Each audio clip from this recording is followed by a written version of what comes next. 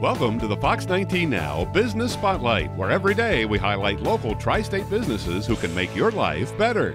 Welcome to the Fox 19 Now Business Spotlight. I'm Kimberly Moening, and joining me in the spotlight again today is our good friend Steve Rondinaro, marketing manager at one of the most gorgeous resorts in southern Indiana, French Lick. Welcome back. Oh, it's good to be here. And on a beautiful spring day. It's Took- finally here. Oh, took a while for spring to spring, but the place is looking gorgeous. Uh, everything is green and, and beautiful. And it's a perfect time to start taking some of those fun local trips.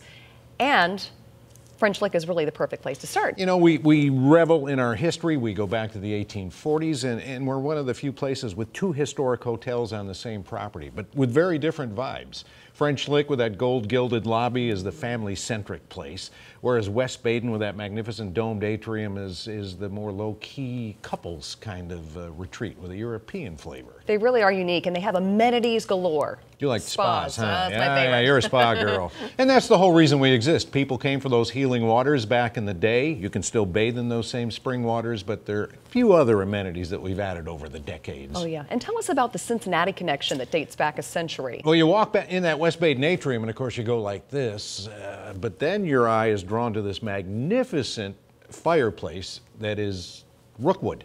And it's custom made for that spot. You'll not see another like it. I couldn't even guess at what the value might be. Oh, wow. And then you look uh, down at the tile work on the entryways, and it is right there in the tile, Cassini Tile Company, Cincinnati, Ohio. So we got a lot of Cincinnati in us. And you can handle any event, big or small, too. From 20 to 2,000. All right, whatever your event, French Lick has it all. Two amazing hotels and 3,000 acres of fun. Thanks so much, Steve. Good to be here. And thank you for watching the Fox 19 Now Business Spotlight. For more information on this featured business, go to fox19now.com and click on Business Spotlight.